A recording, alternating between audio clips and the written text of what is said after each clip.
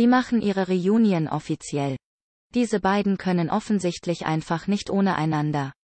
Seitdem Daniela Büchner, 43, und Ernesto Monte, 43, Ende 2020 bekannt gegeben hatten, dass sie ein Paar sind, führen die zwei eine waschechte On-Off-Beziehung.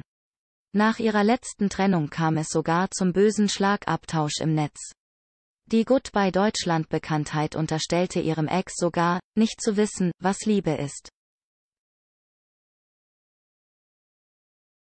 Dieser Instagram-Zoff scheint nun aber Geschichte zu sein. Denn wie die beiden verraten, sind sie nun wieder zusammen. Enestos süße Liebeserklärung und Dannes Reaktion zeigen wir im Video. Erste Annäherungsversuche im Mai. Nachdem es nach dem Liebesaus zu unschönen Äußerungen kam, glätteten sich die Wogen im Mai langsam wieder. Sagen wir mal so. Wir beide haben uns wieder vertragen. Wir reden wieder viel miteinander, erklärte Ernesto im Bildinterview und versicherte, ein freundschaftliches Verhältnis zu seiner Ex zu pflegen. Kurz darauf kam es erneut öffentlich zur Auseinandersetzung, hoffentlich zum letzten Mal.